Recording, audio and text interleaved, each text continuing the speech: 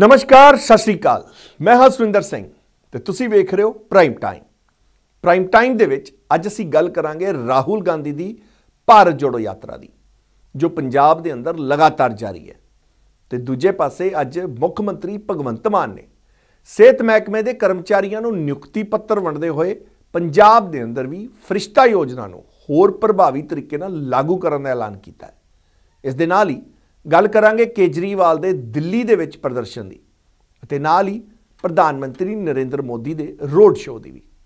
ਇਸ ਦੇ ਨਾਲ ਹੀ ਪੰਜਾਬ ਪੁਲਿਸ ਵੱਲੋਂ ਪ੍ਰੈਸ ਕਾਨਫਰੰਸ ਕਰਕੇ ਕੀਤੇ ਗਏ ਵੱਡੇ ਖੁਲਾਸਿਆਂ ਤੇ ਵੀ ਚਰਚਾ ਕਰਾਂਗੇ। ਤੇ ਆਓ ਸ਼ੁਰੂਆਤ ਕਰਦੇ ਹਾਂ ਅੱਜ ਦੇ ਪ੍ਰਾਈਮ ਟਾਈਮ ਦੀ।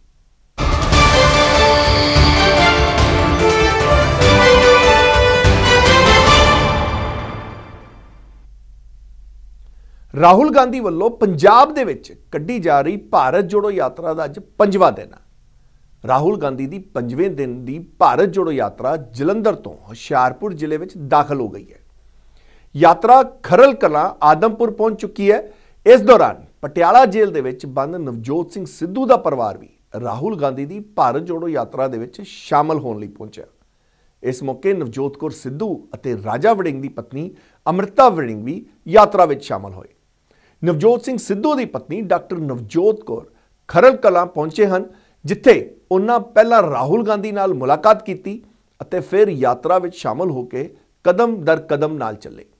ਇਸ ਦੌਰਾਨ ਰਾਹੁਲ ਗਾਂਧੀ ਅੱਜ ਪੰਜਾਬ ਦੇ ਕਈ ਸਕੂਲੀ ਬੱਚਿਆਂ ਅਤੇ ਖਾਸ ਕਰਕੇ ਖਿਡਾਰੀਆਂ ਦੇ ਨਾਲ ਵੀ ਨਜ਼ਰ ਆਏ।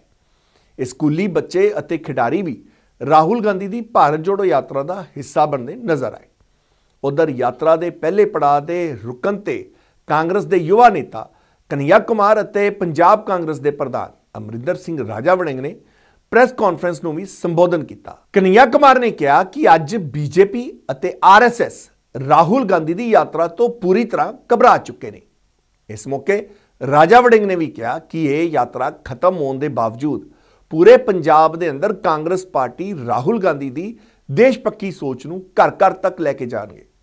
ਕੀ ਕੁਝ ਕਿਹਾ ਕਨਿਆ ਕੁਮਾਰ ਅਤੇ ਰਾਜਾ ਵੜਿੰਗ ਨੇ? और सुन लेने चर्चा शुरू हुई है कि जब आरएसएस के लोग राहुल जी के ऊपर हमला नहीं कर रहे हैं तो राहुल जी बार बार आरएसएस का नाम क्यों ले रहे हैं? गुड़ का गाछ तो आरएसएस ही है ना? ऐसा तो हो नहीं सकता है कि आप गुड़ खाएँ और गुलगुल्ले से परहेज करें। यह जो भ्रम की स्थिति पैदा की गई है, इसमें कुछ भी सच्चाई नहीं है। आरएसएस और बीजेपी में कोई फ़र्क नहीं है। बीजेपी जो हमला कर रही है, वो हमले आरएसएस ही करवा रही है। और इसको हम लोग अलग अलग तरीके से नहीं देखते हैं। हालाँकि, इस बात का जयराम जी ने भी स्वागत किया, हमारे पार्टी के तमाम वरिष्ठ नेताओं ने स्वागत किया, कि राम मंदिर के पुजारी ने भारत जोड़ो यात्रा का स्वागत किया। तो इसका हम लोगों ने स्वागत किया, कि बहुत अच्छी बात है। और हमने कहा कि जो लोग आना चाहते हैं। भारत जोड़ो यात्रा का दरवाज़ा सबके लिए खुला हुआ है। हमारे मन में किसी के प्रति कोई नफरत नहीं है, द्वेष नहीं है। जो लोग भी, जो लोग भी इस देश से प्यार करते हैं, इस देश के संविधान में उनको भरोसा है, इस देश की विविधता और एकता, जिसको कहते हैं यूनिटी एंड डाइवर्सिटी और जो यूनिटी की डाइवर्सिटी में बिलीव करते हैं। सिर्फ़ इसकी बात नहीं है कि हमको डाइवर्सिटी में यूनिटी चाहिए। यूनिटी की डाइवर्सिटी को भी हमको रेस्पेक्ट करना पड़ेगा। क्योंकि हम इस दौर में जी रहे हैं, जहाँ अलग अलग तरह के चॉइसेस हैं अलग अलग तरह का लाइफ स्टाइल है। और ये जो हमारी विविधता है, वो हमारा सबसे बड़ा स्ट्रेंथ है। और आप किसी भी एग्ज़ाम्पल को उठा करके देख लीजिए। आप हमारे देश की हॉकी टीम को देख लीजिए। अभी हॉकी का वर्ल्ड कप होने वाला है हॉकी का मैच चल रहा है। आप हमारी क्रिकेट टीम को उठा करके देख लीजिए। आप हमारे देश की ब्यूरोक्रेसी को उठा करके देख लीजिए। आप हमारी देश की सेना को उठा के देख लीजिए। आप हमारे देश के बिज़नेस जो पर्सन्स हैं, उनको देख लीजिए। हर फ़ील्ड में हमारे पास डाइवर्सिटी है और ये हमारा सबसे बड़ा स्ट्रेंथ है। तो जो लोग भी इस देश की डाइवर्सिटी में बिलीव करते हैं, इस देश के मल्टीकल्चरलिज्म में बिलीव करते हैं, इस देश के कॉन्स्टिट्यूशन में बिलीव करते हैं इस देश के लोग आपस में प्यार से रहें इस भावना में भरोसा रखते हैं जो लोग संविधान पर विश्वास रखते हैं देश से प्यार करते हैं वो सब लोग इस यात्रा में आ सकते हैं ਸੋ ਸਾਥੀਓ ਇਸ ਯਾਤਰਾ ਦੇ ਨਾਲ ਮੈਂ ਸਮਝਦਾ ਕਿ ਅੱਜ ਬਹੁਤ ਸਾਰੀਆਂ ਮਹਿਲਾਵਾਂ ਵੀ ਰਾਹੁਲ ਗਾਂਧੀ ਜੀ ਨੂੰ ਆ ਕੇ ਮਿਲੀਆਂ तमाम ਮੁੱਦਿਆਂ ਤੇ ਇਸ ਯਾਤਰਾ ਦੇ ਨਾਲ ਜਿਹੜੇ ਪੰਜਾਬ ਦੇ ਲੋਕ ਹੈ ਪੰਜਾਬ ਦੇ ਪੀੜਤ ਲੋਕ ਆ ਉਹਨਾਂ ਨੂੰ ਬਲ ਮਿਲੇਗਾ ਔਰ ਬਹੁਤ ਸਾਰੇ ਐਸੇ ਮੁੱਦੇ ਹੈ ਇਹ ਯਾਤਰਾ ਕੇਵਲ ਰਾਹੁਲ ਗਾਂਧੀ ਜੀ ਯਾਤਰਾ ਕਰਕੇ ਚੱਲਣ ਚ- ਚਲੇ ਜਾਣਗੇ ਉਸ ਤੋਂ ਬਾਅਦ ਪੰਜਾਬ ਪ੍ਰਦੇਸ਼ ਕਾਂਗਰਸ ਕਮੇਟੀ ਇਸ ਯਾਤਰਾ ਦੇ ਮੁੱਦਿਆਂ ਨੂੰ ਲੈ ਕੇ ਅਸੀਂ ਆਉਣ ਵਾਲੇ ਸਮੇਂ 'ਚ ਜਿਹੜੇ तमाम ਮੁੱਦੇ ਆ ਪੰਜਾਬ ਦੇ ਉਹਨਾਂ ਦੀ ਲੜਾਈ ਅਸੀਂ ਨਿਰੰਤਰ ਸੜਕਾਂ ਤੇ ਆਉਣ ਵਾਲੇ ਸਮੇਂ 'ਚ ਲੜਾਂਗੇ ਔਰ ਇਹ ਯਾਤਰਾ ਜਾਣ ਤੋਂ ਬਾਅਦ ਜਦੋਂ 30 ਤਰੀਕ ਨੂੰ ਸਮਾਪਤ ਹੋ ਜਾਏਗੀ ਔਰ ਵਿਧਾਨ ਸਭਾ ਦੇ ਵਿੱਚ ਵੀ ਇਹਨਾਂ तमाम ਮੁੱਦਿਆਂ ਦੀ ਅਸੀਂ ਇਹ ਮੁੱਦੇ ਚੱਕਾਂਗੇ ਤੇ ਲੜਾਈ ਲੜਾਂਗੇ ਸੋ ਮੈਂ ਜ਼ਿਆਦਾ ਕੁਝ ਨਾ ਕਹਿੰਦਾ ਹੋਇਆ ਬਹੁਤ ਸਾਰੇ ਐਸੇ ਮੁੱਦੇ ਆ ਔਰ ਇਸ ਯਾਤਰਾ ਦੇ ਨਾਲ ਕਾਂਗਰਸ ਦਾ ਵਰਕਰ ਜਿੱਥੇ ਤਕੜਾ ਹੋਇਆ ਹੈ ਦੱਬੇ ਮਿੱਦੇ ਕੁਚਲੇ ਉਹਨਾਂ ਲੋਕਾਂ ਨੂੰ ਇਸ ਗੱਲ ਦਾ ਬਲ ਮਿਲਿਆ ਇਸ ਯਾਤਰਾ ਦੇ ਨਾਲ ਕਿ ਹੁਣ ਸਾਡੀ ਆਵਾਜ਼ ਬੁਲੰਦ ਕਰਨ ਵਾਲਾ ਕੋਈ ਵਿਅਕਤੀ ਦੇਸ਼ ਦੇ ਅੰਦਰ ਹੈਗਾ ਹੈ। ਔਰ ਜਿਸ ਤਰ੍ਹਾਂ ਕਨਈਆ ਕੁਮਾਰ ਜੀ ਨੇ ਕਿਹਾ ਕਿ ਬਿਲਕੁਲ ਇਹ ਆਰਐਸਐਸ ਦੀ ਜਿਹੜੀ ਸੋਚ ਹੈ ਉਹਦੇ ਨਾਲ ਸਾਡੀ ਸਿੱਧੀ ਸਿੱਧੀ ਲੜਾਈ ਹੈ। ਔਰ ਹਮੇਸ਼ਾ ਅਸੀਂ ਬੋਲਦੇ ਕਹਿੰਦੇ ਕਿ ਆਰਐਸਐਸ ਦੀ ਵਿਚਾਰਧਾਰਾ ਜਿੰਨਾ ਚਿਰ ਕਾਂਗਰਸ ਪਾਰਟੀ ਹੈ। ਔਰ ਮੈਂ ਇਸ ਤੋਂ ਵੀ ਵੱਧ ਕਰਾਂਗਾ ਜਿੰਨਾ ਚਿਰ ਰਾਹੁਲ ਗਾਂਧੀ ਔਰ ਗਾਂਧੀ ਪਰਿਵਾਰ ਹੈ। ਹਾਲਾਂਕਿ ਵਾਰ-ਵਾਰ ਅਟੈਕ ਕੀਤਾ ਜਾਂਦਾ ਹੈ ਗਾਂਧੀ ਪਰਿਵਾਰ ਤੇ। ਉਹਨਾਂ ਚਿਰ ਇਸ ਦੇਸ਼ ਦੇ ਉੱਤੇ ਆਰਐਸਐਸ ਦੀ ਵਿਚਾਰਧਾਰਾ ਲਾਗੂ ਨਹੀਂ ਹੋ ਸਕਦੀ। ਬੇਸ਼ੱਕ ਉਹ ਤਾਕਤ ਦੇ ਨਾਲ ਕਈ ਰਾਜਾਂ ਦੇ ਵਿੱਚ ਆਪਦੀ ਸਰਕਾਰ ਤਾਂ ਬਣਾ ਸਕਦੇ ਹੈ, ਜਿਸ ਤਰ੍ਹਾਂ ਉਹਨਾਂ ਨੇ ਕਬਜ਼ਾ ਕੀਤਾ ਹੋਇਆ ਹੈ। ਇਸਤੇਮਾਲ ਕਰ ਰਹੇ ਹੈ ਦੁਰਉਪਯੋਗ ਕਰ ਰਹੇ ਹੈ ਹਰ ਚੀਜ਼ ਦਾ लेकिन विचारधारा आरएसएस दी इस देश पे लागू नहीं हो सकती और जिस प्रकार हिंदू मुस्लिम की बात करते हैं ਕੀਤੀ ਉਹਨਾਂ ਨੇ ਕਦੇ ਕਬਰਿਸਤਾਨ ਤੇ ਸ਼ਮਸ਼ਾਨ ਘਾਟ ਦੀ ਗੱਲ ਕੀਤੀ ਕਦੀ ਮੰਦਿਰ ਤੇ ਮਸਜਿਦ ਦੀ ਗੱਲ ਕੀਤੀ ਉਸੇ ਤਰ੍ਹਾਂ ਦਾ ਜਿਹੜਾ ਪ੍ਰਭਾਵ ਹੈ ਹੁਣ ਵੀ ਪੰਜਾਬ ਦੇ ਅੰਦਰ ਇਸੇ ਤਰ੍ਹਾਂ ਦਾ ਮਾਹੌਲ ਬਣਾਇਆ ਜਾ ਰਿਹਾ ਹੈ ਪੰਜਾਬ ਨੂੰ ਤੋੜਨ ਦੀ ਗੱਲ ਕੀਤੀ ਜਾ ਰਹੀ ਹੈ ਪੰਜਾਬ ਦੇ ਵਿੱਚ ਉਸੇ ਤਰ੍ਹਾਂ ਦੇ ਹਾਲਾਤ ਬਣਦੇ ਜਾ ਰਹੇ ਹੈ ਅੱਜ ਕੋਈ ਸਿੱਖ ਦੀ ਗੱਲ ਕਰਦਾ ਹੈ, ਕੋਈ ਹਿੰਦੂ ਦੀ ਗੱਲ ਕਰਦਾ ਹੈ, ਕੋਈ ਯੀਸ਼- ਅਹ, ਅਹ, ਚਰਚ ਦੀ ਗੱਲ ਕਰਨ ਲੱਗ ਪਿਆ ਹੈ। ਸੋ ਇਸ ਤਰ੍ਹਾਂ ਦਾ ਜਿਹੜਾ ਕੰਮ ਪੰਜਾਬ ਦੇ ਵਿੱਚ ਵੀ ਚੱਲ ਰਿਹਾ ਉਹ ਪੰਜਾਬ ਦੇ ਵਾਸਤੇ ਚੰਗਾ ਨਹੀਂ ਹੈ ਸੋ ਇਹਨਾਂ तमाम ਮੁੱਦਿਆਂ ਦੇ ਵਾਸਤੇ ਅਸੀਂ ਬਿਲਕੁਲ ਛਾਤੀ ਢਾ ਕੇ ਅਸੀਂ ਇਹਨਾਂ ਦੀ ਲੜਾਈ ਲੜਦੇ ਰਵਾਂਗੇ ਸਿਹਤ ਵਿਭਾਗ ਦੇ ਅੰਦਰ ਵੱਖ-ਵੱਖ ਅਹੁਦਿਆਂ ਲਈ ਨਿਯੁਕਤ ਕੀਤੇ ਗਏ ਕਰਮਚਾਰੀਆਂ ਨੂੰ ਅੱਜ ਪੰਜਾਬ ਦੇ ਮੁੱਖ ਮੰਤਰੀ ਭਗਵੰਤ ਮਾਨ ਵੱਲੋਂ ਨਿਯੁਕਤੀ ਪੱਤਰ ਵੰਡੇ ਗਏ। ਇਸ ਦੌਰਾਨ ਮੁੱਖ ਮੰਤਰੀ ਭਗਵੰਤ ਮਾਨ ਨੇ ਕਈ ਤਰ੍ਹਾਂ ਦੇ ਐਲਾਨ ਵੀ ਕੀਤੇ। ਮੁੱਖ ਮੰਤਰੀ ਭਗਵੰਤ ਮਾਨ ਨੇ ਐਲਾਨ ਕਰਦਿਆਂ ਕਿਹਾ ਕਿ ਹੁਣ ਕਿਸੇ ਵੀ ਹਾਦਸੇ ਦੇ ਵਿੱਚ ਜ਼ਖਮੀ ਹੋਏ ਲੋਕਾਂ ਨੂੰ ਹਸਪਤਾਲ ਪਹੁੰਚਾਉਣ ਵਾਲੇ ਨੂੰ 2000 ਰੁਪਏ ਇਨਾਮ ਵਜੋਂ ਦਿੱਤੇ ਜਾਣਗੇ। ਇਸ ਤੋਂ ਇਲਾਵਾ ਸੀਐਮ ਮਾਨ ਨੇ ਕਿਹਾ ਕਿ ਮਰੀਜ਼ ਦੇ ਇਲਾਜ ਦਾ ਸਾਰਾ ਖਰਚ ਵੀ ਸਰਕਾਰ ਵੱਲੋਂ ਚੁੱਕਿਆ ਜਾਵੇਗਾ। ਇਸ ਤੋਂ ਅੱਗੇ ਲੋਕਾਂ ਨੂੰ ਸਲਾਹ ਦਿੰਦਿਆਂ ਉਹਨਾਂ ਕਿਹਾ ਕਿ ਗੱਡੀਆਂ ਤੇ ਮੋਟਰਸਾਈਕਲ ਦੇ ਵਿੱਚ ਫਸਟ ਏਡ ਕਿੱਟ ਜ਼ਰੂਰ ਰੱਖੋ। ਮੁੱਖ ਮੰਤਰੀ ਭਗਵੰਤ ਮਾਨ ਨੇ ਕਿਹਾ ਕਿ ਸਾਡੀ ਸਰਕਾਰ ਹਰ ਹਫ਼ਤੇ ਨੌਜਵਾਨਾਂ ਨੂੰ ਨਿਯੁਕਤੀ ਪੱਤਰ ਦਿੰਦੀ ਰਹਿੰਦੀ ਹੈ। ਜੋ ਕੰਮ ਪਿਛਲੀਆਂ ਸਰਕਾਰਾਂ ਨਹੀਂ ਕਰ ਸਕੀਆਂ, ਉਹ ਅਸੀਂ ਕਰ ਵਿਖਾਇਆ ਉਹਨਾਂ ਕਿਹਾ ਕਿ ਅਸੀਂ ਆਪਣੇ ਪਿਛਲੇ 10 ਮਹੀਨਿਆਂ ਦੇ ਅੰਦਰ ਹੀ 25886 ਨੌਜਵਾਨਾਂ ਨੂੰ ਨਿਯੁਕਤੀ ਪੱਤਰ ਦੇ ਚੁੱਕੇ ਆ ਨਿਯੁਕਤੀ ਪੱਤਰ ਵੰਡ ਸਮਾਰੋਹ ਦੇ ਦੌਰਾਨ ਮੁੱਖ ਮੰਤਰੀ ਭਗਵੰਤ ਮਾਨ ਨੇ ਹੋਰ ਕੀ ਕੁਝ ਕਿਹਾ? ਆਓ ਸੁਣਦੇ ਹਾਂ। ਐਜੂਕੇਸ਼ਨ ਹੈਲਥ ਏਮਪਲੋਇਮੈਂਟ ਇਹ ਤਿੰਨ ਜਿਹੜੇ ਸਾਡੇ ਖਾਸ ਤੌਰ ਤੇ ਧਿਆਨਯੋਗ ਸਾਡੇ ਵਿਸ਼ੇ ਨੇ। ਰੋਜ਼ਗਾਰ ਦਾ ਮਤਲਬ ਬਹੁਤ ਕੁਝ ਹੈ ਉਹਦੇ ਚ। ਉਹ ਚ ਇੰਡਸਟਰੀ ਲੈ ਕੇ ਆਉਣੀ ਪਊਗੀ ਤਾਂ ਰੋਜ਼ਗਾਰ ਮਿਲੂਗਾ। ਉਹਦੇ ਵਿੱਚ ਸਟਾਰਟਅਪਸ ਸ਼ੁਰੂ ਕਰਨ ਵਾਸਤੇ ਸਕਿੱਲ ਡਿਵੈਲਪਮੈਂਟ ਵਾਸਤੇ ਆਪਾਂ ਆਪਣੇ ਪੰਜਾਬ ਦੇ ਨੌਜਵਾਨ ਮੁੰਡੇ ਕੁੜੀਆਂ ਨੂੰ ਜੌਬ ਸੀਕਰਸ ਦੀ ਬਜਾਏ ਜੌਬ ਪ੍ਰੋਵਾਈਡਰਸ ਬਣਾਈਏ। ਇਹ ਵੀ ਰੋਜ਼ਗਾਰ ਹੈ ਉਹਦੇ ਵਾਸਤੇ ਵੀ ਅਸੀਂ ਪ੍ਰੋਗਰਾਮ ਚਲਾ ਰਹੇ ਹਾਂ ਕਿ ਕਿਵੇਂ ਨਵੇਂ ਆਈਡੀਆਜ਼ ਦੇ ਸਟਾਰਟਅਪ ਸਾਡੇ ਪੰਜਾਬ ਦੇ ਨੌਜਵਾਨ ਕਰਨ। ਉਹ ਕਾਲ ਸੈਂਟਰ ਸ਼ੁਰੂ ਕਰਨ, ਉਹਦੇ ਉਹਨਾਂ ਥੱਲੇ 100 150 500 ਮੁੰਡੇ, ਕੁੜੀਆਂ ਕੰਮ ਕਰਦੇ ਹੋਣ ਬਿਜ਼ਨਸ ਵਧੇ।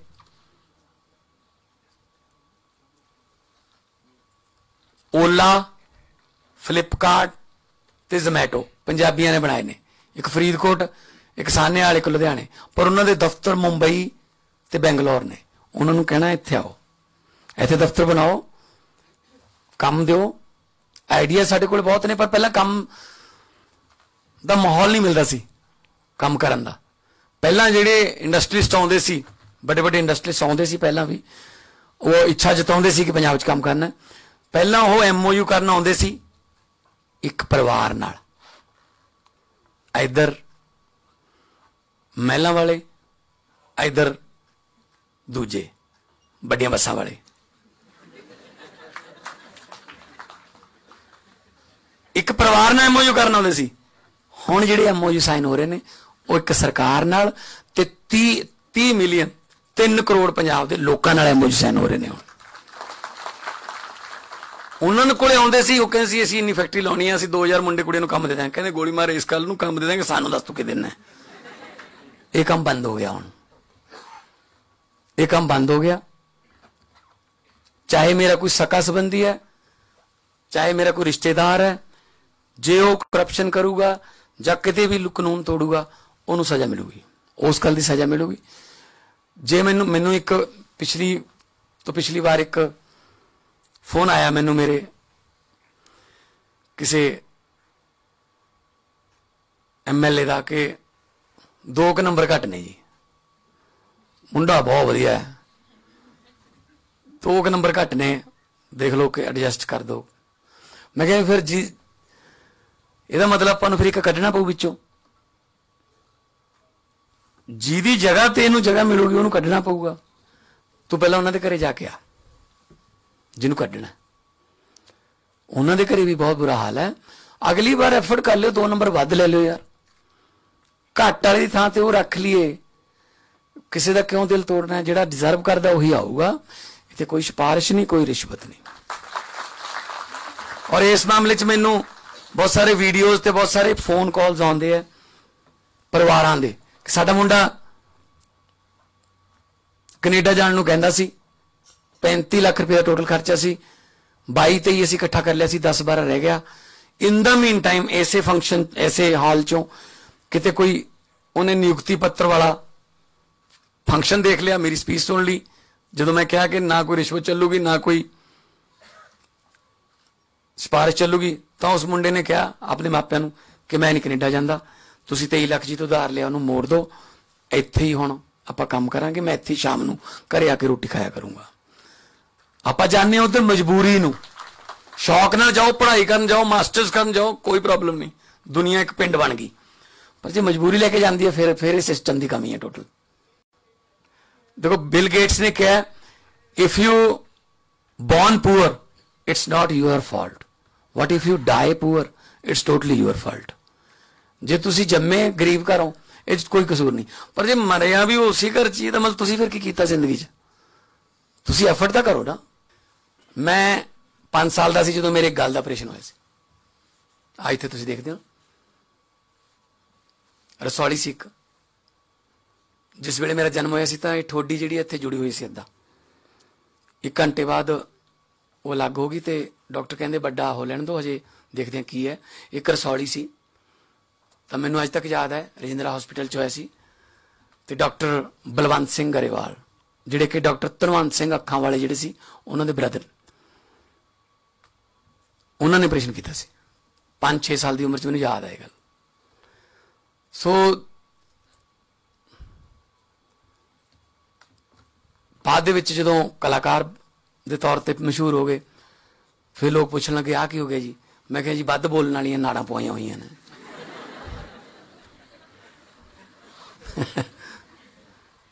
ਜਾਂ ਫਿਰ ਜੇ ਕੋਈ ਹੋਰ ਪੁੱਛ ਲੇ, ਤਾਂ ਥੋੜਾ ਜਿਹਾ ਮੈਂ ਸ਼ੇਰੋ ਸ਼ਾਇਰੀ ਚ ਵੀ ਦੱਸ ਦੇਣਾ ਵੀ ਆ ਕੀ ਹੋਇਆ?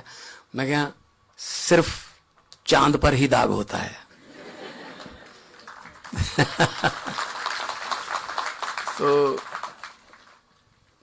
ਆਪਣੇ profession ਨੂੰ ਪਿਆਰ ਕਰੋ ਜਿਹੜੇ ਵੀ profession 'ਚ ਉਹਨੂੰ ਪਿਆਰ ਕਰੋ ਮੈਂ ਕਾਮੇਡੀ ਦੇ profession 'ਚ ਆ ਗਿਆ ਪਤਾ ਨਹੀਂ ਸੀ ਅਚਾਨਕ ਐਂਟਰੀ ਹੋ ਗਈ ਪਰ ਮੈਂ ਉਹਨੂੰ ਇੰਨਾ ਪਿਆਰ ਕੀਤਾ ਉਸ profession ਨੂੰ ਕਿ ਆਉਂਦੇ ਤਾਂ ਬਹੁਤ ਨੇ ਉਦੋਂ ਬਾਅਦ ਵੀ ਆਉਣਗੇ, ਬੜੇ ਵੱਡੇ ਵੱਡੇ ਆਰਟਿਸਟ ਪਏ ਨੇ, ਮੈਂ ਤਾਂ ਕੁਝ ਵੀ ਨਹੀਂ ਉਹਨਾਂ ਮੁਕਾਬਲੇ ਪਰ ਮੇਰਾ ਯੋਗਦਾਨ ਜਿਹੜਾ, ਉਹ ਇਹ ਗਿਣਿਆ ਜਾਵੇ ਕਿ ਆਏ ਸੀ ਤੇ ਉਹਨਾਂ ਨੇ ਕੁਝ ਨਾ ਕੁਝ ਬਦਲਿਆ ਸੀ ਯਾਰ।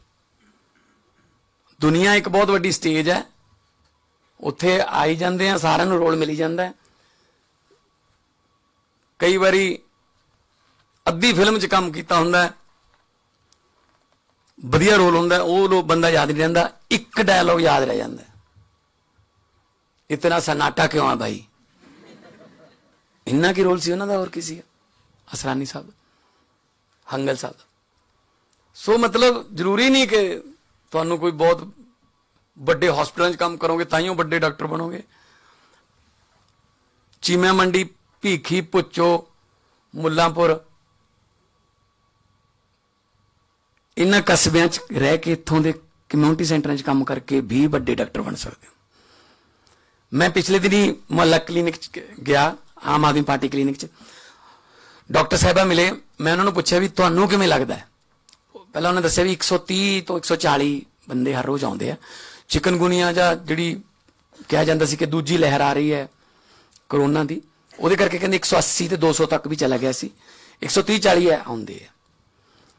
ਤੇ ਮੈਂ ਕਿਹਾ ਜੀ ਕਿੰਨੇ ਪਰਸੈਂਟ ਨੇ ਜਿਹੜੇ ਇੱਥੋਂ ਠੀਕ ਹੋ ਕੇ ਚਲੇ ਜਾਂਦੇ? ਉਹ ਕਹਿੰਦੀ 96 97% ਇੱਥੋਂ। ਦਵਾਈਆਂ ਲੈ ਕੇ ਠੀਕ ਹੋ ਕੇ ਘਰੇ ਚਲੇ ਜਾਂਦੇ ਉਹਨਾਂ ਨੂੰ। ਵੱਡੇ ਹਸਪੀਟਲਾਂ ਜਾਣ ਦੀ ਲੋੜ ਨਹੀਂ, ਜਿਸ ਤਰ੍ਹਾਂ ਕਿਹਾ ਉਹ ਜਾਇ ਜੀ ਨੇ ਕਿ 10 ਲੱਖ ਬੰਦਾ ਜਿਹੜਾ ਉਹ ਪੀੜੀ ਦਾ ਫਾਇਦਾ ਲੈ ਚੁੱਕਿਆ। ਉਹੀ ਬੰਦੇ ਵੱਡੇ ਹਸਪਤਾਲਾਂ ਜਾਂਦੇ, ਉੱਥੇ ਬਰਡਨ ਪੈਂਦਾ ਡਾਕਟਰਾਂ ਤੇ। ਪੀਜੀਆਈ ਦਾ ਦੇਖ ਲਓ ਹਾਲ ਤੁਸੀਂ ਕੀ ਹੈ। ਫੁੱਟਪਾਥ ਤੇ ਵੀ ਜਗ੍ਹਾ ਨਹੀਂ ਮਿਲਦੀ। ਪੰਜ ਸਟੇਟਾਂ ਪੈਂਦੀਆਂ ਨੇ।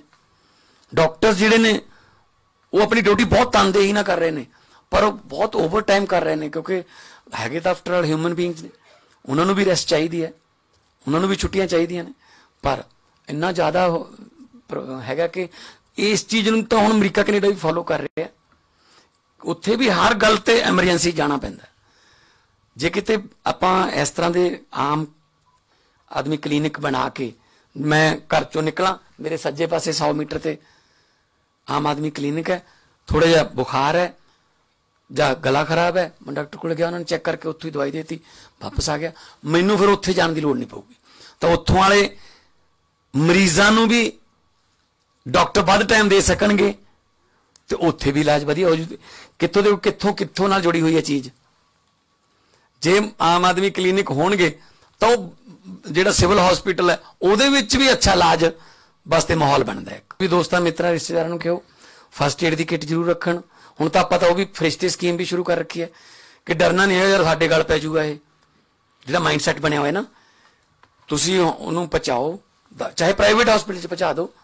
2000 ਰੁਪਈਆ ਉਹਨੂੰ ਕੱਲੇ ਪਹੁੰਚਾਉਣ ਦਾ ਗਵਰਨਮੈਂਟ ਵੱਲੋਂ ਦਿੱਤਾ ਜਾਊਗਾ। ਜਿੱਥੇ ਮਰਜ਼ੀ ਉਹਨੂੰ ਜਿਹੜਾ ਨੀਅਰੈਸਟ ਹਸਪੀਟਲ ਹੈ, ਉਹਨੂੰ ਉੱਥੇ ਪਹੁੰਚਾ ਦਿਓ। ਅੱਗੇ ਉਹਦਾ ਖਰਚਾ ਸਾਰਾ ਸਰਕਾਰ ਕਰੂਗੀ। ਚਾਹੇ ਪ੍ਰਾਈਵੇਟ ਹੈ, ਚਾਹੇ ਜਿਹੜਾ ਮਰਜ਼ੀ ਹਸਪੀਟਲ ਹੈ, ਇੱਕ ਬੰਦੇ ਦੀ ਜਾਨ ਦੀ ਕੋਈ ਕੀਮਤ ਨਹੀਂ ਹੁੰਦੀ।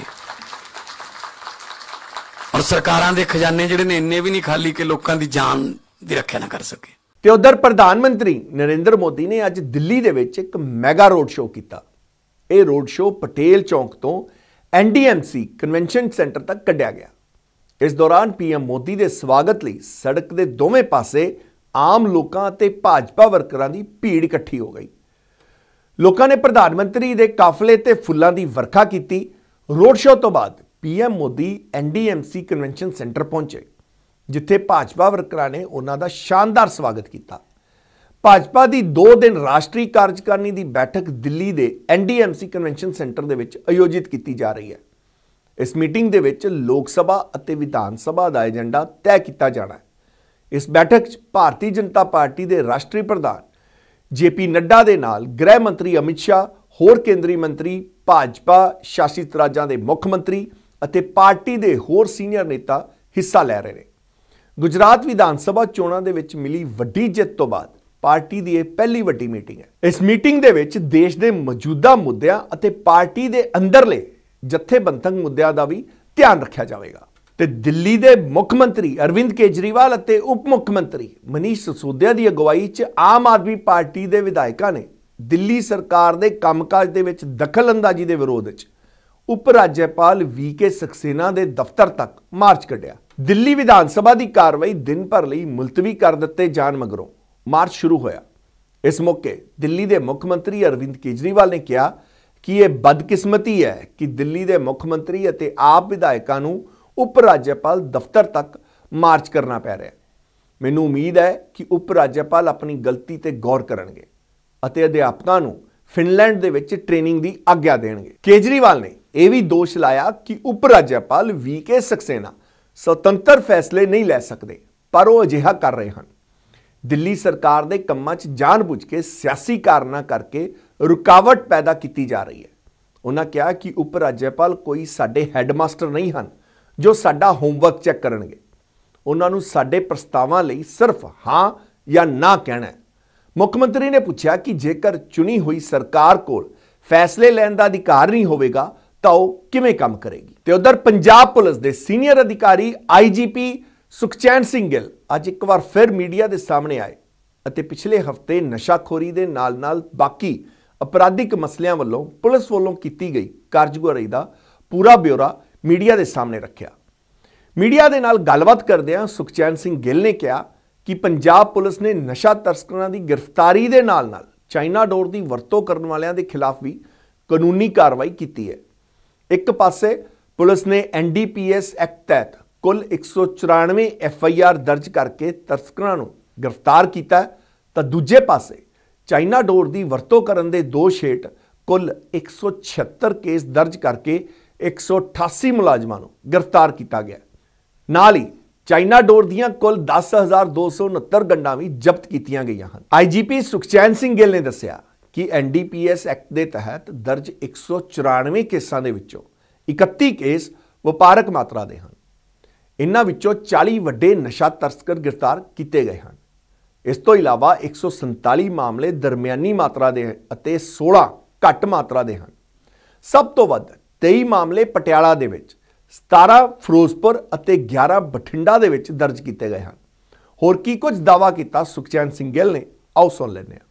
ਤੇ 194 ਐਫ ਆਈ ਆਰ ਦਰਜ ਹੋਈਆਂ ਜਿਹਦੇ ਚ 258 ਜਿਹੜੇ ਨੇ ਅਕਿਊਜ਼ਡ ਅਰੈਸਟ ਕੀਤੇ ਗਏ ਆ।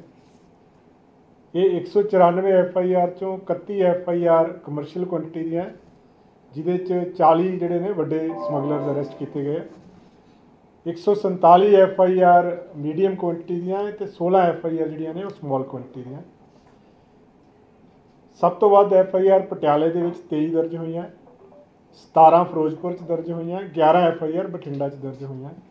ਕਮਰਸ਼ੀਅਲ ਕੁਆਂਟੀਟੀ ਦੀਆਂ ਐਫ ਆਈ ਆਰ ਦੇ ਵਿੱਚ 8 ਪਟਿਆਲੇ ਚ ਦਰਜ ਹੋਈਆਂ 4 ਪਠਾਨਕੋਟ ਤੇ 4 ਤਰਨਤਾਰਨ ਦੇ ਵਿੱਚ ਦਰਜ ਹੋਈਆਂ। ਇਸ ਹਫ਼ਤੇ ਦੇ ਦੌਰਾਨ ਕਾਫੀ ਵੱਡੀ ਮਾਤਰਾ ਦੇ ਵਿੱਚ ਹੈਰੋਇਨ ਦੀ ਰਿਕਵਰੀ ਹੋਈ ਹੈ ਜਿਹਦੇ ਚ ਜਿਹੜੀ 31 ਕਿਲੋ ਦੀ ਰਿਕਵਰੀ ਹੈ ਜਿਹੜੀ ਉਹ ਫਾਜ਼ਿਲਕਾ ਦੇ ਵਿੱਚ ਹੋਈ ਸੀਗੀ, ਜਿਹੜੀ ਕਿ ਉੱਥੇ ਬਾਰਡਰ ਤੋਂ ਲੈ ਕੇ ਜਾ ਰਹੇ ਸੀਗੇ। ਦੋ ਬੰਦੇ ਅਰੈਸਟ ਕੀਤੇ ਸੀ। ਸੋ ਇਸ ਹਫ਼ਤੇ ਦੇ ਦੌਰਾਨ 41 ਕਿਲੋ ਦੀ ਜਿਹੜੀ ਰਿਕਵਰੀ ਹੈ 41 ਕੇਜੀ ਦੀ ਰਿਕਵਰੀ ਹੈਰੋਇਨ ਦੀ ਹੋਈ ਹੈ। 13 ਕਿਲੋ ਦੀ ਰਿਕਵਰੀ ਓਪੀਐਮ ਦੀ ਹੋਈ ਹੈ। 481 ਕਿਲੋ ਦੀ ਰਿਕਵਰੀ ਪੌਪੀ ਹਸਕ ਦੀ ਹੋਈ ਹੈ। 5 ਕਿਲੋ ਦੇ ਆਸ-ਪਾਸ ਦੀ ਰਿਕਵਰੀ ਚਰਚ ਦੀ ਹੋਈ ਹੈ ਔਰ 53 ਕਿਲੋ ਦੀ ਰਿਕਵਰੀ ਗਾਂਜਾ ਦੀ ਹੋਈ ਹੈ। ਇੰਜੈਕਸ਼ਨ, ਟੈਬਲੇਟ ਕੈਪਸੂਲ ਸਿਰਪਸ ਜਿਹੜੇ ਨੇ ਮੈਡੀਕਲ ਡਰੱਗਸ ਆ, ਉਹਦੀ 5 ਲੱਖ 28794 ਯੂਨਿਟਸ ਦੀ ਰਿਕਵਰੀ ਹੋਈ ਹੈ। ਡਰੱਗ ਮਨੀ 20 ਲੱਖ 47940 ਜਿਹੜੇ ਰੁਪਏ ਨੇ ਡਰੱਗ ਮਨੀ ਰਿਕਵਰ ਹੋਈ ਹੈ। ਔਰ ਪੀਓਸ ਦੀ ਜਿਹੜੀ ਆਪਾਂ ਸਪੈਸ਼ਲ ਕੈਂਪੇਨ ਚਲਾਇਆ, ਉਹਦੇ ਚ ਹਰ ਹਫ਼ਤੇ ਦੀ ਤਰ੍ਹਾਂ ਇਸ ਹਫ਼ਤੇ ਵੀ 15 ਡਰੱਗਸ ਦੇ ਨਾਲ ਰਿਲੇਟਡ ਜਿਹੜੇ ਪੀਓ ਅਰੈਸਟ ਕੀਤੇ ਨੇ। ਔਰ ਜੁਲਾਈ ਤੋਂ ਲੈ ਕੇ ਹੁਣ ਤੱਕ ਜਿਹੜਾ ਕੈਂਪੇਨ ਚਲਾਇਆ, ਉਹਦੇ ਵਿੱਚ 623 ਪੀਓ ਅਰੈਸਟ ਹੋਏ ਨੇ। ਸੋ ਇਹ ਡਰੱਗਸ ਦੇ ਉੱਤੇ ਆ, ਜਿਹਦੇ 'ਚ ਕਾਫੀ ਵੱਡੀ ਮਾਤਰਾ ਦੇ ਵਿੱਚ ਰਿਕਵਰੀ ਹੋਈ ਆ ਇਸ ਤੋਂ ਇਲਾਵਾ ਇੱਕ ਹੋਰ ਸਪੈਸ਼ਲ ਕੈਂਪੇਨ ਆਪਾਂ ਚਲਾਇਆ ਸੀਗਾ, ਚਾਈਨਾ ਡੋਰ ਦੇ ਖਿਲਾਫ। ਜਿਹੜਾ ਕਿ ਲਗਾਤਾਰ ਜਾਰੀ ਆ। ਕੁਝ ਇਨਸੀਡੈਂਟ ਵੀ ਮੰਦਭਾਗੇ ਜਿਹੜੇ ਆ, ਉਹ ਦੇਖਣ ਚ ਆਏ ਆ। ਉਹ ਇਸੇ ਕਰਕੇ ਹੀ ਸਾਰੇ ਕਮਿਸ਼ਨਰਸ ਐਸਐਸਪੀਜ਼ ਨੂੰ ਸਖਤ ਹਦਾਇਤਾਂ ਡੀਜੀਪੀ ਸਾਹਿਬ ਨੇ ਕੀਤੀਆਂ ਸੀਗੀਆਂ। ਔਰ ਚਾਈਨਾ ਡੋਰ ਦੇ ਇਸ ਹਫ਼ਤੇ ਦੇ ਦੌਰਾਨ 176 ਪਰਚੇ ਦਰਜ ਹੋਏ ਆ। 188 ਅਕਿਊਜ਼ਡ ਉਹਦੇ ਵਿੱਚ ਅਰੈਸਟ ਹੋਏ ਆ। ਔਰ 10269 ਜਿਹੜੇ ਗੱਟੇ ਆ ਚਾਈਨਾ ਡੋਰ ਦੇ, ਉਹ ਪੁਲਿਸ ਨੇ ਸੀਜ਼ ਕੀਤੇ ਆ। ਔਰ ਇਹ ਸਪੈਸ਼ਲ ਕੈਂਪੇਨ ਜਿਹੜਾ ਚਾਈਨਾ ਡੋਰ ਦੇ ਖਿਲਾਫ ਹੈ ਵੀ ਜਾਰੀ ਰਹੇਗਾ, ਕਿਉਂਕਿ ਕਾਫੀ ਇਨਸੀਡੈਂਟਸ ਐਸੇ ਦੇਖਣ ਨੂੰ ਆਏ ਜਿਵੇਂ ਕਿ ਹਿਊਮਨ ਲਾਈਫ ਵਾਸਤੇ ਵੱਡੇ ਥ੍ਰੈਟਨਿੰਗ ਇਨਸੀਡੈਂਟਸ ਹੁੰਦੇ ਆ। 188 ਅਕਿਊਜ਼ਡ ਅਰੈਸਟ ਹੋਏ ਆ ਚਾਈਨਾ ਡੋਰ ਦੇ ਵਿੱਚ। ਇੱਕ ਤਾਂ ਏਜੀਟੀਐਫ ਨੇ ਯੁਵਰਾਜ ਸਿੰਘ ਉਰਫ ਜੋਰਾ ਜਿਹੜਾ ਕਿ ਜਿਹੜਾ ਇਨਸੀਡੈਂਟ ਹੋਇਆ ਸੀ ਫਗਵਾੜੇ ਦੇ ਵਿੱਚ ਉਹਦੇ ਵਿੱਚ ਵਾਂਟਡ ਸੀਗਾ। ਉਸ ਨੂੰ ਅਰੈਸਟ ਕੀਤਾ ਹੈ। ਇਸ ਤੋਂ ਇਲਾਵਾ ਇੰਦਰਪ੍ਰੀਤ ਸਿੰਘ ਪੈਰੀ ਜਿਹੜਾ ਕਿ ਪ੍ਰਦੀਪ ਮਰਡਰ ਕਾਂਡ ਦੇ ਵਿੱਚ ਵਾਂਟਡ ਸੀਗਾ। ਉਹਨੂੰ ਹਿਮਾਚਲ ਤੋਂ ਜਿਹੜੇ ਸਾਡਾ ਸਪੈਸ਼ਲ ਸੈੱਲ ਆ ਐਸਐਸਓਸੀ ਉਹਨਾਂ ਨੇ ਅਰੈਸਟ ਕੀਤਾ ਗੁਰਪਿਆਰ ਸਿੰਘ ਏਲੀਅਸ ਜੰਡਾ ਜਿਹੜਾ ਹੈ, ਇਹ ਫਿਰੋਜ਼ਪੁਰ ਪੁਲਿਸ ਨੇ ਅਰੈਸਟ ਕੀਤਾ ਸੀਗਾ। ਜਿਹੜਾ ਗਗਨ ਜੱਜ ਦਾ ਕੰਪਲੀਸ ਸੀਗਾ, ਉਹ ਵੀ ਥੋੜੇ ਜਿਹੇ ਇਨਕਾਊਂਟਰ ਤੋਂ ਬਾਅਦ ਇਹ ਅਰੈਸਟ ਹੋਇਆ ਸੀਗਾ। ਬਠਿੰਡਾ ਦੇ ਵਿੱਚ ਇੱਕ ਇਨਸੀਡੈਂਟ ਹੋਇਆ ਸੀਗਾ ਡਾਕਟਰ ਦਿਨੇਸ਼ ਬਾਂਸਲ ਨੇ ਜਿਹੜੇ ਕਿ ਰਾਜ ਨਰਸਿੰਗ ਹੋਮ ਚਲਾਉਂਦੇ, ਤਲਵੰਡੀ ਸਾਹਿਬ ਉਹਨਾਂ ਤੋਂ ਐਕਸਟੋਰਸ਼ਨ ਦੀ ਡਿਮਾਂਡ ਕੀਤੀ ਸੀਗੀ, ਜਿਹਦੇ ਵਿੱਚ ਬਠਿੰਡਾ ਪੁਲਿਸ ਨੇ ਟੋਟਲ 7 ਅਕਿਊਜ਼ਡ ਅਰੈਸਟ ਕੀਤੇ ਨੇ। ਦੋ ਅਕਿਊਜ਼ ਜਿਹੜੇ ਨੇ, ਉਹ ਇੱਕ ਇਨਕਾਊਂਟਰ ਹੋਣ ਤੋਂ ਬਾਅਦ ਚ ਅਰੈਸਟ ਕੀਤੇ ਨੇ, ਜਿਹਦੇ ਵਿੱਚ ਇੱਕ ਬੀਨੂ ਸਿੰਘ ਆ ਔਰ ਇੱਕ ਦਵਿੰਦਰ ਸਿੰਘ ਨਾਮ ਦਾ ਅਕਿਊਜ਼ ਆ। ਇਸ ਤੋਂ ਇਲਾਵਾ ਪੰਜ ਅਕਿਊਜ਼ਡ ਹੋਰ ਇਸ ਕੇਸ 'ਚ ਅਰੈਸਟ ਕੀਤੇ ਨੇ, ਜਿਹਦੇ ਵਿੱਚ ਪ੍ਰਦੀਪ ਸਿੰਘ, ਚੀਨਾ, ਮੰਨਾ, ਪਰਮ ਤੇ ਬਲਵਿੰਦਰ ਸਿੰਘ ਏਲੀਅਸ ਬੱਬੂ। ਇਹ ਸਾਰੇ ਹੀ ਤਲਵੰਡੀ ਸਾਬੋ ਦੇ ਰਹਿਣ ਵਾਲੇ ਆ 6 ਤਲਵੰਡੀ ਸਾਬੋ ਦੇ ਰਹਿਣ ਵਾਲੇ ਆ। ਇੱਕ ਦਾ ਪਿਛੋਕੜ ਸਰਦੂਲਗੜ੍ਹ ਦਾ ਵਾ, ਜਿਹੜਾ ਕਿ ਜੱਸੀ ਪੌ ਵਾਲੀ ਪਿੰਡ ਆ, ਬਠਿੰਡੇ ਦੇ ਲਾਗੇ ਉੱਥੋਂ ਦਾ ਰਹਿਣ ਵਾਲਾ ਸੀਗਾ। ਸੋ ਇਹ ਵੀ ਇਮੀਡੀਏਟਲੀ ਇਹ ਕੱਲ ਦਾ ਇਨਸੀਡੈਂਟ ਸੀਗਾ। ਤੁਰੰਤ ਹਰਕਤ ਚ ਆਉਂਦੇ ਬਠਿੰਡਾ ਪੁਲਿਸ ਨੇ ਰਾਤ ਹੀ ਇਨਕਾਊਂਟਰ 'ਚ ਦੋ ਬੰਦਿਆਂ ਨੂੰ ਅਰੈਸਟ ਕੀਤਾ। ਉਸ ਤੋਂ ਬਾਅਦ ਦੇ ਵਿੱਚ ਪੰਜ ਬੰਦੇ ਜਿਹੜੇ ਨੇ, ਉਹ ਫਾਲੋ ਅਪ ਦੇ ਵਿੱਚ ਅਰੈਸਟ ਹੋ ਗਏ। ਸੋ ਸੱਤ ਹੀ ਅਕਿਊਜ਼ ਸੀਗੇ। ਇਹਨਾਂ ਨੇ 3 ਲੱਖ ਦੀ ਐਕਸਟੋਰਸ਼ਨ ਡਿਮਾਂਡ ਕੀਤੀ ਸੀ ਡਾਕਟਰ ਦਿਨੇਸ਼ ਬਾਂਸਲ ਤੋਂ। ਸੋ ਇਹ ਸੱਤ ਦੇ ਸੱਤ ਅਕਿਊਜ਼ ਜਿਹੜੇ ਨੇ ਅਰੈਸਟ ਹੋ ਗਏ ਨੇ। ਫਰਦਰ ਇਨਵੈਸਟੀਗੇਸ਼ਨ ਇਸ ਕੇਸ ਦੇ ਵਿੱਚ ਚੱਲ ਰਹੀ ਆ। ਕਿ ਇਹ ਕੌਣ ਬੰਦਾ ਇਸ 'ਚ ਹੋਰ ਜੇ ਕੋਈ ਕਨਸਪੀਰੇਸੀ 'ਚ ਹੋਏਗਾ, ਤਾਂ ਉਹਦੀ ਵੀ ਅਰੈਸਟ ਕੀਤੀ ਜਾਏਗੀ। ਅੰਮ੍ਰਿਤਸਰ ਤੋਂ ਲੰਡਨ ਦੇ ਵਿਚਾਲੇ ਸ਼ੁਰੂ ਹੋਣ ਵਾਲੀ ਸਿੱਧੀ ਫਲਾਈਟ ਨੂੰ ਲੈ ਕੇ ਪੰਜਾਬ ਦੇ ਅੰਦਰ ਸਿਆਸੀ ਕ੍ਰੈਡਿਟ ਵਾਰ ਤੇਜ਼ ਹੋ ਗਈ ਹੈ। ਇੱਕ ਦਿਨ ਪਹਿਲਾਂ ਹੀ ਆਮ ਆਦਮੀ ਪਾਰਟੀ ਦੇ ਰਾਜ ਸਭਾ ਮੈਂਬਰ ਰਾਗਵ ਚੱਡਾ ਨੇ ਟਵੀਟ ਕਰਕੇ ਦਾਅਵਾ ਕੀਤਾ ਸੀ ਕਿ ਉਹਨਾਂ ਵੱਲੋਂ ਰਾਜ ਸਭਾ ਦੇ ਅੰਦਰ ਜ਼ੋਰ-ਸ਼ੋਰ ਨਾਲ ਚੁੱਕੇ ਗਏ ਮੁੱਦਿਆਂ ਦੇ ਕਾਰਨ ਹੀ ਕੇਂਦਰੀ ਹਵਾਬਾਜੀ ਮੰਤਰਾਲੇ ਨੇ ਫੈਸਲਾ ਲਿਆ। ਹਾਲਾਂਕਿ ਉਹਨਾਂ ਦੇ ਇਸ ਟਵੀਟ ਤੋਂ ਬਾਅਦ ਅੱਜ ਅੰਮ੍ਰਿਤਸਰ ਤੋਂ ਕਾਂਗਰਸ ਦੇ ਸੰਸਦ ਮੈਂਬਰ ਗੁਰਜੀਤ ਔਜਲਾ ਨੇ ਇੱਕ ਪ੍ਰੈਸ ਕਾਨਫਰੰਸ ਕੀਤੀ ਅਤੇ ਰਾਗਵ ਚੱਡਾ ਦੇ ਸਾਰੇ ਦਾਅਵਿਆਂ ਨੂੰ ਝੂਠਾ ਕਰਾਰ ਦਿੱਤਾ। ਗੁਰਜੀਤ ਔਜਲਾ ਨੇ ਸਾਰੇ ਵੇਰਵਿਆਂ ਸਮੇਤ ਦੱਸਿਆ ਕਿ ਕਦੋਂ-ਕਦੋਂ ਉਹਨਾਂ ਖੁਦ ਅੰਮ੍ਰਿਤਸਰ 에ਅਰਪੋਰਟ ਤੋਂ ਸਿੱਧੀਆਂ ਫਲਾਈਟਾਂ ਦੇ ਮੁੱਦੇ ਸਦਨ ਅਤੇ ਕੇਂਦਰੀ ਮੰਤਰੀਆਂ ਦੇ ਸਾਹਮਣੇ ਰੱਖੇ ਹਨ। ਉਹਨਾਂ ਆਰੋਪ ਲਗਾਇਆ ਕਿ ਰਾਗਵ ਚੱਡਾ ਨੂੰ ਕੋਈ ਵੀ ਬਿਆਨ ਦੇਣ ਤੋਂ ਪਹਿਲਾਂ ਇਸ ਦੇ ਇਤਿਹਾਸ ਤੇ ਨਜ਼ਰ ਜ਼ਰੂਰ ਮਾਰਨੀ ਚਾਹੀਦੀ ਸੀ। ਇਸ ਦੇ ਨਾਲ ਹੀ ਗੁਰਜੀਤ ਔਜਲਾ ਨੇ ਪੰਜਾਬ ਦੇ ਅੰਦਰ ਪੀਸੀਐਸ ਅਫਸਰਾਂ ਦੀ ਹੜਤਾਲ ਅਤੇ ਕਈ ਹੋਰ ਮੁੱਦਿਆਂ ਤੇ ਵੀ ਆਪਣੀ ਪ੍ਰਤੀਕਿਰਿਆ ਸਾਂਝੀ ਕੀਤੀ। ਕੀ ਕੁਝ ਬੋਲੇ ਸੰਸਦ ਗੁਰਜੀਤ ਔਜਲਾ? ਆਓ ਸੁਣ ਲੈਂਦੇ ਪੰਜਾਬੀਆਂ ਨੂੰ ਮੈਂ ਬੜਾ ਵੱਡੀ ਕੋਸ਼ਿਸ਼ ਕਰਕੇ ਫਲਾਈਟ ਸ਼ੁਰੂ ਕਰਾਈ। ਚੱਡਾ ਸਾਹਿਬ, ਪੰਜਾਬੀ ਬੜੇ ਚਿਰ ਤੋਂ ਅੰਮ੍ਰਿਤਸਰ ਦੀ ਧਰਤੀ ਲਈ ਕੋਸ਼ਿਸ਼ ਕਰਦੇ ਆਏ ਔਰ ਸਮੇਂ-ਸਮੇਂ ਤੇ ਫਲਾਈਟਾਂ ਸ਼ੁਰੂ ਵੀ ਹੋਈਆਂ ਔਰ ਬੰਦ ਵੀ ਹੋਈਆਂ। ਜਿਹੜੀ ਪਹਿਲੀ ਫਲਾਈਟ ਚੱਲੀ 1982 ਚ ਅੰਮ੍ਰਿਤਸਰ ਬਰਮਿੰਗਮ ਜਿਹੜੀ ਚਲਾਈ ਗਈ ਫਲਾਈਟ ਸੀ। ਸਭ ਤੋਂ ਸਕਸੈਸਫੁਲ ਫਲਾਈਟ ਹੋਈ 1982 ਨੂੰ। ਮੈਂ ਹੋਰ ਜੇ ਮੈਂ ਗਲਤ ਨਾ ਹੋਵਾਂ, ਤੇ ਮੇਰਾ ਖਿਆਲ ਆਪ ਜੀ ਦਾ ਜਨਮ ਜਿਹੜਾ 1988 ਦਾ ਹੈ। ਆਪ ਜੀ ਦੇ ਜਨਮ ਤੋਂ ਪਹਿਲਾਂ ਦੀ ਜਿਹੜੀ ਫਲਾਈਟ ਹੈ, ਲੰਡਨ ਨੂੰ ਜਾ ਰਹੀ ਹੈ। ਔਰ ਉਸ ਤੋਂ ਬਾਅਦ 2004 ਚ ਤੋਂ ਬਾਅਦ ਹੀਥਰੋ ਨੂੰ ਫਲਾਈਟ ਸ਼ੁਰੂ ਹੋ ਗਈਆਂ ਟੋਰਾਂਟੋ ਨੂੰ ਹੋ ਗਈਆਂ ਉਜ਼ਬੇਕਿਸਤਾਨ ਨੂੰ ਔਰ ਤੁਰਕਮੇਨਿਸਤਾਨ ਨੂੰ ਬਹੁਤ ਫਲਾਈਟਸ ਇੱਥੋਂ ਜਾਂਦੀਆਂ ਰਹੀਆਂ, ਸਿੰਗਾਪੁਰ ਦੀ ਫਲਾਈਟ ਵੀ ਜਾਂਦੀ ਰਹੀ। ਸਮੇਂ-ਸਮੇਂ ਤੇ ਕਈ ਕਾਰਨਾਂ ਕਰਕੇ ਜਦੋਂ ਜੀਐਮਆਰ 에ਅਰਪੋਰਟ ਬਣਿਆ ਤੇ ਫਲਾਈਟਸ ਬੰਦ ਹੁੰਦੀਆਂ ਰਹੀਆਂ। ਔਰ ਇਹਦੇ ਵਿੱਚ ਬਹੁਤ ਐਨਜੀਓ ਦੀਆਂ ਕੋਸ਼ਿਸ਼ਾਂ ਨੇ, ਬਹੁਤ ਹੋਰ ਲੀਡਰ ਸਹਿਬਾਨ ਵੀ ਕੋਸ਼ਿਸ਼ ਕਰਦੇ ਰਹੇ ਆ। ਔਰ ਲਾਸਟ ਜਿਹੜਾ ਬਰਮਿੰਗਮ ਦੀ ਫਲਾਈਟ ਜਦੋਂ ਮੈਂ ਮੈਂਬਰ ਪਾਰਲੀਮੈਂਟ ਬਣਿਆ ਸਾਂ, ਮੇਰੇ ਤੋਂ ਪਹਿਲਾਂ ਸ਼ੁਰੂ ਸੀ। ਔਰ ਉਹਦੀਆਂ ਮੈਂ ਟਾਈਮ ਵਧਾਇਆ, ਉਹ ਪਹਿਲਾਂ ਹਫ਼ਤੇ 'ਚ 2 ਦਿਨ ਸੀ 3 ਦਿਨ ਅਸੀਂ ਕਰਾਈ, ਫਿਰ 4 ਦਿਨ ਹੋਈ। ਫਿਰ ਸਟੈਂਡਸਟਡ ਦੀ ਫਲਾਈਟ ਅਸੀਂ ਕੋਸ਼ਿਸ਼ ਕਰਕੇ ਸ਼ੁਰੂ ਕਰਾਈ ਮੈਂਬਰ ਪਾਰਲੀਮੈਂਟ ਬਣ ਤੋਂ ਬਾਅਦ। ਮੈਂ ਦੱਸਣਾ ਚਾਹੁੰਦਾ ਆਪ ਜੀ ਦੇ ਧਿਆਨ 'ਚ, ਇਹ ਕੇਂਦਰ ਦਾ ਡਿਪਾਰਟਮੈਂਟ ਹੈ। ਔਰ ਇੱਥੋਂ ਯੂਨੀਅਨ ਮਿਨਿਸਟਰ ਜਿਹੜੇ ਸਾਡੇ ਕੇਂਦਰ ਦੇ ਵਜ਼ੀਰ ਨੇ, ਹਰਦੀਪ ਸਿੰਘ ਪੁਰੀ ਜੀ, ਮੈਂ ਉਹਨਾਂ ਨੂੰ ਬੇਨਤੀਆਂ ਕੀਤੀਆਂ। ਔਰ ਮੈਂ ਉਹਨਾਂ ਦਾ ਸ਼ੁਕਰੀਆ ਹਰ ਸਮੇਂ ਤੇ ਕਰਦਾ ਰਿਹਾ ਪਾਰਲੀਮੈਂਟ ਦੇ ਅੰਦਰ ਵੀ ਔਰ ਮਿਲ ਕੇ ਵੀ। ਕਿਉਂਕਿ ਇੱਕ ਹੀ ਟੀਚਾ ਰੱਖਿਆ ਸੀ ਗੁਰੂ ਨਗਰੀ ਦੇ ਵਿਕਾਸ ਵਾਸਤੇ ਕੋਈ ਵੀ ਹੋਵੇ, ਸਾਡਾ ਸਭਨਾਂ ਦਾ ਰਲ ਕੇ ਕੰਮ ਕਰਨਾ ਫਰਜ਼ ਬਣਦਾ ਹੈ।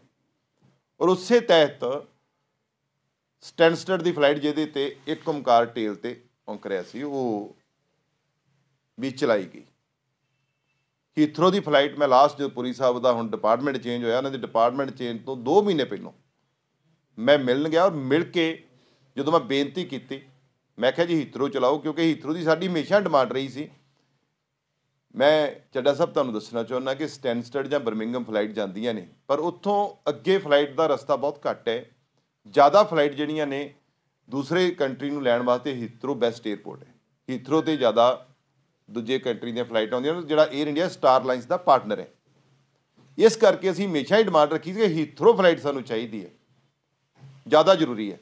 ਸੋ ਮੈਂ ਉਦੋਂ ਵੀ ਦੱਸਿਆ ਸੀ ਸਾਰਿਆਂ ਨੂੰ ਕਿ ਪੁਰੀ ਸਾਹਿਬ ਨੇ ਸੇਮ ਡੇ ਮੇਰੇ ਬੈਠਿਆਂ ਫੋਨ ਕਰਕੇ ਕਿਹਾ ਕਿ ਜਿੱਥੋਂ ਮਰਜ਼ੀ ਜਹਾਜ਼ ਦਾ ਅਰੇਂਜ ਕਰੋ ਹੀਥਰੋ ਫਲਾਈਟ ਚੱਲਣੀ ਚਾਹੀਦੀ ਹੈ। ਔਰ ਹੀਥਰੋ ਫਲਾਈਟ ਉਹਨਾਂ ਨੇ ਹੁਣ ਫਿਰ ਦੁਬਾਰਾ ਸ਼ੁਰੂ ਕਰਾਈ ਸੀ, ਜਿਹੜੀ ਹੁਣ ਚੱਲ ਰਹੀ ਹੈ 3 ਦਿਨ ਹੈ, ਹੁਣ 4 ਦਿਨ ਵੀ ਹੋ ਜਾਣੀ ਹੈ। ਪਰ ਹੁਣ ਜੋ ਇਨਫੋਰਮੇਸ਼ਨ ਹੈ, ਤੁਸੀਂ ਗਲਤ ਗੁੰਮਰਾਹ ਪੰਜਾਬੀਆਂ ਨੂੰ ਨਾ ਕਰੋ, ਝੂਠ ਮਾਰਨਾ ਤੁਹਾਡਾ ਪੇਸ਼ਾ ਆ।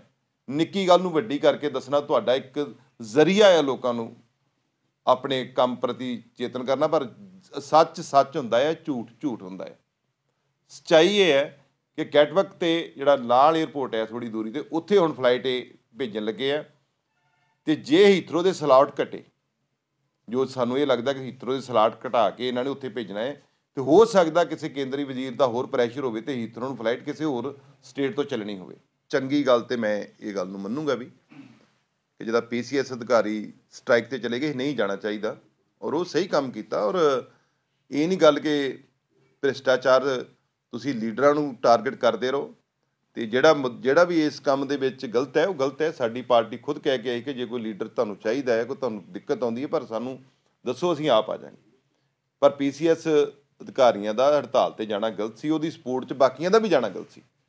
ਪਰ ਜਿੱਥੋਂ ਤੱਕ ਐਂਬੂਲੈਂਸ ਵਾਲੇ ਵੀਰਾਂ ਦੀ ਗੱਲ ਹੈ, ਜਿੱਥੋਂ ਤੱਕ ਬੇਰੁਜ਼ਗਾਰ ਟੀਚਰਾਂ ਦੀ ਗੱਲ ਹੈ, ਬੇਰੁਜ਼ਗਾਰ ਲੋਕਾਂ ਦੀ ਗੱਲ ਹੈ, ਇਹ ਕਰੋੜਾਂ ਰੁਪਏ ਪੰਜਾਬ ਦੇ ਬਾਹਰ ਖਰਚ ਆਏ ਆ। ਉਹਨਾਂ ਦਾ ਮਸਲਾ ਬਹਿ ਕੇ ਹੱਲ ਕਰਨਾ ਚਾਹੀਦਾ। ਸਾਰੇ ਕੰਮ ਧਮਕੀਆਂ ਨਾਲ ਨਹੀਂ ਸਹੀ ਹੋਣੇ। ਕੁਝ ਜਿਹੜੇ ਸਹੀ ਨੇ, ਉਹਨਾਂ ਨੂੰ ਤੁਸੀਂ ਬਹਿ ਕੇ ਮਿਲ ਕੇ ਉਹਨਾਂ ਦਾ ਹੱਲ ਕਰੋ। ਇਹ ਗੱਲਾਂ ਇਹਨਾਂ ਨੇ ਲੋਕਾਂ ਨੂੰ ਦੱਸੀਆਂ ਸੀ ਕਿ ਪ- ਜਿਹੜੇ ਸਰਕਾਰ ਹੈ ਉਹ ਸੰਜੀਦਾ ਨਹੀਂ ਹੁੰਦੀ ਤੇ ਲੋਕ ਟੈਂਕੀਆਂ ਤੇ ਚੜ ਜਾਂਦੇ ਆ, ਲੋਕਾਂ ਨੂੰ ਕੰਟਰੋਲ ਕਰਨਾ ਪੈਂਦਾ ਆ ਪੁਲਿਸ ਨੂੰ ਜਾਂ ਕਿਸੇ ਨੂੰ। ਅੱਜ ਉਹ ਤੋਂ ਮਾੜੇ ਹਾਲਤ ਇਹਨਾਂ ਦੀ ਸਰਕਾਰ 'ਚ ਹੋ ਗਿਆ ਕਦੀ ਸਰਕਾਰ ਬਣਦਿਆਂ ਧਰਨੇ ਨਹੀਂ ਸੀ ਲੱਗਦੇ ਹੁੰਦੇ। ਸਰਕਾਰ ਦੇ ਜਾਣ ਲੱਗਿਆਂ ਧਰਨੇ ਜ਼ਰੂਰ ਸੁਣੇ ਜਾਂਦੇ ਸੀ। ਇਹ ਪਹਿਲੀ ਸਰਕਾਰ ਹੈ, ਕਿਉਂਕਿ ਇਹਨਾਂ ਕੋਲੋਂ ਸਰਕਾਰ ਚੱਲ ਹੀ ਨਹੀਂ ਰਹੀ। ਸੋ ਐਂਬੂਲੈਂਸ ਵਾਲੇ ਹੋਣ ਜਾਂ ਕੋਈ ਵੀ ਹੋਣ, ਉਹਨਾਂ ਨਾਲ ਬਹਿ ਕੇ ਗੱਲ ਕਰਨੀ ਚਾਹੀਦੀ ਹੈ, ਪਰ ਮੈਂ ਧਰਨੇ ਵਾਲੇ ਭਰਾਵਾਂ ਨੂੰ ਵੀ ਬੇਨਤੀ ਕਰੂੰਗਾ। ਦੇਖੋ, ਐਮਰਜੈਂਸੀ ਸੇਵਾਵਾਂ ਨੂੰ ਇਸ ਤਰੀਕੇ ਨਾਲ ਨਾ ਤੁਸੀਂ ਲੈ ਕੇ ਜਾਓ, ਆਪਣਾ ਸਾਰਿਆਂ ਦਾ ਪੰਜਾਬ ਹੈ। ਹਰ ਗੱਲ ਦੇ ਉੱਤੇ ਸਰਕਾਰ, ਪਹਿਲੀ ਤਾਂ ਗੱਲ ਹੈ, ਆਪ ਅੱਗੇ ਹੋ ਕੇ ਪਹਿਲ ਕਦਮੀ ਕਰੇ, ਉਹਨਾਂ ਦਾ ਮਸਲਾ ਸੁਣੇ। ਮੈਂ ਤਾਂ ਹੀ ਕਹਿੰਦਾ ਸਾਂ ਕਿ ਜਦੋਂ ਵੀ ਸਰਕਾਰ ਨੇ ਕੋਈ ਮਸਲਾ ਆਉਂਦਾ ਹੈ, ਸਰਕਾਰ ਨੂੰ ਆਪੋਜੀਸ਼ਨ ਪਾਰਟੀਆਂ ਨੂੰ ਨਾਲ ਲੈ ਕੇ ਚੱਲਣਾ ਹੁੰਦਾ। ਇਹ ਬਦਕਿਸਮਤੀ ਹੈ ਕਿ ਇੱਥੇ ਜਿਹੜਾ ਵੀ ਸਰਕਾਰ ਬਣਦੀ ਉਹ ਆਪੋਜੀਸ਼ਨ ਨੂੰ ਖਤਮ ਕਰਨ ਦੀ ਕੋਸ਼ਿਸ਼ ਕਰਦੀ ਕਦੀ ਖਤਮ ਹੁੰਦੀ ਨਹੀਂ। ਆਪੋਜੀਸ਼ਨ ਕਦੀ ਖਤਮ ਨਹੀਂ ਹੁੰਦੀ ਕਿਉਂਕਿ ਲੋਕ ਮੁੱਦੇ ਜਿਨ੍ਹਾਂ ਨੂੰ ਕਹਿ ਕੇ ਤੁਸੀਂ ਆਏ ਹੁੰਦੇ ਜੀ, ਉਹ ਮੁੱਦਿਆਂ ਤੋਂ ਤੁਸੀਂ ਧਿਆਨ ਜਦੋਂ ਤੁਹਾਡੇ ਕੋਲ ਹੱਲ ਨਹੀਂ ਹੁੰਦੇ ਧਿਆਨ ਭੜਕਾਉਣਾ ਵਾਸਤੇ ਤੁਸੀਂ ਆਪੋਜੀਸ਼ਨ ਨੂੰ ਟਾਰਗੇਟ ਕਰਦੇ ਜੇ। ਸੋ ਅੱਜ ਉਹ ਹਾਲਾਤ ਜਿਹੜੇ ਆ ਬਹੁਤ ਮਾੜੇ ਪੰਜਾਬ 'ਚ ਨੇ। ਸੋ ਜਿਹੜੇ ਵੀ ਸਟ੍ਰਾਈਕ ਤੇ ਜਾਣਦੇ ਨੇ ਇਹਨਾਂ ਦੇ ਮੰਤਰੀ ਦਬਕਾ ਮਾਰਨ ਤੋਂ ਪਹਿਲਾਂ ਉਹਨਾਂ ਨਾਲ ਬਹਿ ਕੇ ਗੱਲ ਕਰਨ। ਉਹ ਲੋਕਾਂ ਨੂੰ ਦੱਸਣ ਵੀ ਕੀ ਮਸਲਾ ਕਿਉਂ ਜਾ ਰਹੇ, ਕੀ ਉਹਨਾਂ ਦੀ ਮੰਗ ਜਾਇਜ਼ ਹੈ ਕਿ ਨਜਾਇਜ਼ ਹੈ। ਉਹ ਦੋਵੇਂ ਪੱਖਾਂ ਦੀ ਗੱਲ ਸਾਹਮਣੇ ਆਉਣੀ ਚਾਹੀਦੀ ਤੇ ਉਧਰ ਲਤੀਫਪੁਰਾ ਮੁੜ ਵਸੇਬਾ ਮੋਰਚੇ ਦੇ ਸੱਦੇ ਤੇ ਅੱਜ ਵੱਖ-ਵੱਖ ਜਥੇਬੰਦੀਆਂ ਨੇ ਦਿੱਲੀ ਜੰਮੂ ਹਾਈਵੇ ਉੱਤੇ ਧਰਨਾ ਲਗਾ ਕੇ ਪੰਜਾਬ ਸਰਕਾਰ ਖਿਲਾਫ ਪੜਾਸ ਕੱਢੀ। ਲਤੀਫਪੁਰਾ ਮੁੜ ਵਸੇਬਾ ਮੋਰਚੇ ਨੇ ਹਾਈਵੇ ਅਤੇ ਰੇਲਵੇ ਟਰੈਕ ਬੰਦ ਕਰਨ ਦਾ ਐਲਾਨ ਕੀਤਾ ਸੀ। ਇਸ ਕਾਰਨ ਨੈਸ਼ਨਲ ਹਾਈਵੇ ਤੇ ਵਾਹਨਾਂ ਦੀਆਂ ਲੰਬੀਆਂ ਕਤਾਰਾਂ ਲੱਗੀਆਂ ਹੋਈਆਂ ਨਜ਼ਰ ਆਈਆਂ। ਪੁਲਿਸ ਨੇ ਟ੍ਰੈਫਿਕ ਦੇ ਬਦਲਵੇਂ ਪ੍ਰਬੰਧ ਕੀਤੇ ਹੋਏ ਸਨ, ਪਰ ਟ੍ਰੈਫਿਕ ਜ਼ਿਆਦਾ ਹੋਣ ਕਾਰਨ ਜਾਮ ਲਗਾਤਾਰ ਅੱਗੇ ਵੱਧਦਾ ਗਿਆ। ਮੋਰਚੇ ਵੱਲੋਂ ਸਲੀਪਰ ਰੋਡ ਵੀ ਬੰਦ ਕਰਕੇ ਟ੍ਰੈਫਿਕ ਬਿਲਕੁਲ ਬੰਦ ਕਰ ਦਿੱਤੀ ਹੈ। ਆਵਾਜਾਈ ਬਿਲਕੁਲ ਠੱਪ ਹੋਣ ਕਾਰਨ ਲੋਕ ਪਰੇਸ਼ਾਨੀ ਦੇ ਆਲਮ ਦੇ ਵਿੱਚ ਨਜ਼ਰ ਆਏ। ਇਸ ਮੌਕੇ ਵੱਡੀ ਗਿਣਤੀ ਦੇ ਵਿੱਚ ਵੱਖ-ਵੱਖ ਜਥੇਬੰਦੀਆਂ ਦੇ ਆਗੂ ਤੇ ਵਰਕਰ ਪੁੱਜੇ। ਜਿਨ੍ਹਾਂ ਨੇ ਲਤੀਪੁਰਾ ਦੇ ਲੋਕਾਂ ਨੂੰ ਉਜਾੜੇ ਜਾਣ ਦੀ ਸਖਤ ਸ਼ਬਦਾਂ ਦੇ ਵਿੱਚ ਨਖੇਦੀ ਕੀਤੀ ਅਤੇ ਉਹਨਾਂ ਦੇ ਘਰ ਉਸੇ ਥਾਂ ਉੱਤੇ ਮੁੜ ਬਣਾਉਣ ਤੇ ਨੁਕਸਾਨ ਲਈ ਮੁਆਵਜ਼ੇ ਦੀ ਵੀ ਮੰਗ ਕੀਤੀ। ਦੂਜੇ ਪਾਸੇ ਮੋਰਚੇ ਵੱਲੋਂ ਰੇਲਵੇ ਪਟੜੀਆਂ ਉੱਤੇ ਧਰਨਾ ਲਾਉਣ ਕਾਰਨ ਰੇਲਵੇ ਆਵਾਜਾਈ ਵੀ ਪ੍ਰਭਾਵਿਤ ਹੋ ਰਹੀ ਹੈ। ਇਸ ਮੌਕੇ ਮੁਜ਼ਾਹਰੇ 'ਚ ਵੱਡੀ ਗਿਣਤੀ 'ਚ ਕਿਸਾਨ, ਮਜ਼ਦੂਰ ਤੇ ਹੋਰ ਇਨਸਾਫ ਪਸੰਦ ਲੋਕਾਂ ਨੇ ਸ਼ਮੂਲੀਅਤ ਕਰਕੇ ਪੀੜਤ ਲੋਕਾਂ ਦੇ ਹੱਕ 'ਚ ਹਾਂ ਦਾ ਨਾਰਾ ਮਾਰਿਆ। ਅਤੇ ਸੂਬਾ ਸਰਕਾਰ ਦੇ ਖਿਲਾਫ ਜੰਮ ਕੇ ਨਾਅਰੇਬਾਜ਼ੀ ਕੀਤੀ। ਪੀੜਤ ਲੋਕਾਂ ਨੇ ਕਿਹਾ ਕਿ ਉਹਨਾਂ ਨੇ ਪੋ ਮਹੀਨੇ ਦੀ ਕੜਾਕੇ ਦੀ ਠੰਡ ਦੇ ਵਿੱਚ ਬਾਹਰ ਉਹਨਾਂ ਨੂੰ ਕੱਢਿਆ ਗਿਆ ਤੇ ਲੋਕਾਂ ਦੇ ਕਾਰੋਬਾਰ ਬਿਲਕੁਲ ਠੱਪ ਹੋ ਚੁੱਕੇ ਹਨ। ਪੀੜਤ ਲੋਕਾਂ ਨੇ ਇਸ ਹਾਲਤ ਲਈ ਪੰਜਾਬ ਸਰਕਾਰ ਨੂੰ ਜ਼ਿੰਮੇਵਾਰ ਠਹਿਰਾਇਆ। ਇਸ ਮੌਕੇ ਵੱਡੀ ਗਿਣਤੀ ਦੇ ਵਿੱਚ ਪੁਲਿਸ ਬਲ ਤਾਇਨਾਤ ਕੀਤਾ ਗਿਆ ਸੀ। ਇਸ ਮੌਕੇ ਪ੍ਰਦਰਸ਼ਨਕਾਰੀਆਂ ਤੇ ਪੀੜਤ ਪਰਿਵਾਰਾਂ ਨੇ ਕੀ ਕੁਝ ਕਿਹਾ? ਆਓ ਸੁਣ ਲੈਂਦੇ ਹਾਂ। ਸਰਕਾਰ ਜਿਹੜਾ ਦੋ ਬੈਡਰੂਮ ਦਾ ਜਿਹੜਾ ਫਲੈਟ ਦੇਣ ਦੀ ਰਾਜੀ ਆ। ਪਰ ਉਹ ਜਿਹੜਾ ਦੋ ਬੈਡਰੂਮ ਦਾ ਫਲੈਟ ਆ ਸਰਕਾਰੀ ਜਗ੍ਹਾ 'ਚ ਦਿੱਤਾ ਜਾਊਗਾ। ਸਰਕਾਰ ਆਪਦੇ ਵੱਲੋਂ ਪ੍ਰੋਵਾਈਡ ਕਰੂਗੀ।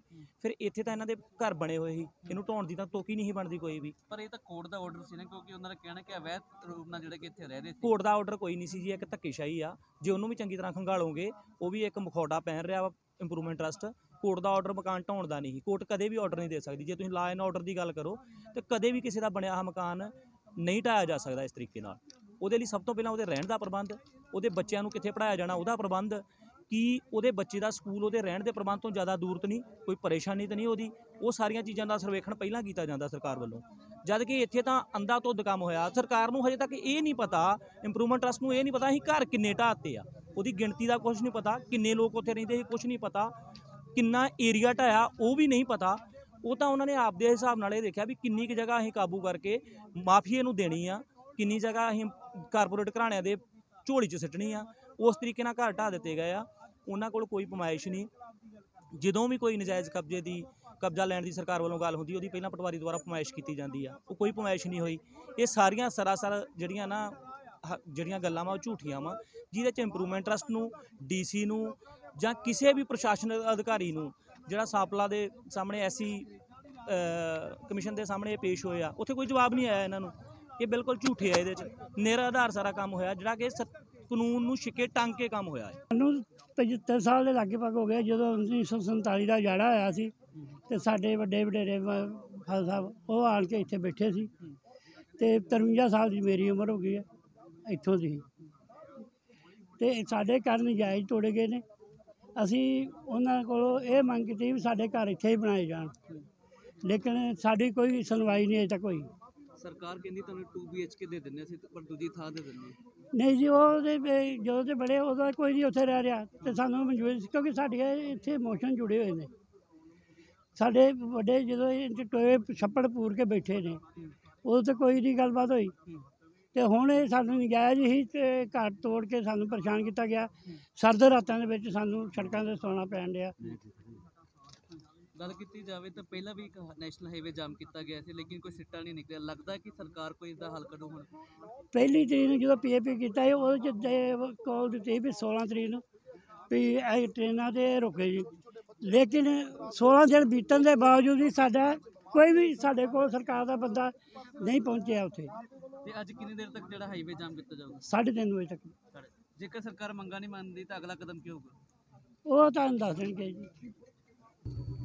ਅੱਜ ਅਸੀਂ ਬੜੇ ਦੁਖੀ ਹਿਰਦੇ ਨਾਲ ਕਹਿਣਾ ਪੈ ਰਿਹਾ ਜਥੇਦਾਰ ਕਸ਼ਮੀਰ ਸਿੰਘ ਜੜਿਆਲਾ, ਭਾਰਤੀ ਕਿਸਾਨ ਯੂਨੀਅਨ ਰਾਜੇਵਾਲ, ਮੁੱਖ ਬੁਲਾਰਾ ਜ਼ਿਲ੍ਹੇ ਦਾ ਤੇ ਦੁਆਬੇ ਦਾ ਕੋਆਰਡੀਨੇਟਰ ਬੜੇ ਦੁਖੀ ਹਿਰਦੇ ਨਾਲ ਕਹਿਣਾ ਕਹਿ ਰਿਹਾ ਵੀ ਪਹਿਲੀ ਤਰੀਕ ਲੋਕ ਨਵਾਂ ਸਾਲ ਮਨਾ ਰਹੇ ਸੀ ਤੇ ਅਸੀਂ ਇਹ ਸੜਕਾਂ ਤੇ ਆਣ ਕੇ ਸੜਕ ਜਾਮ ਕਰਕੇ ਬੈਠੇ ਸੀਗੇ ਇਹਨਾਂ ਲੋਕਾਂ ਦੀਆਂ ਹੱਕੀ ਮੰਗਾਂ ਦੇ ਲਈ।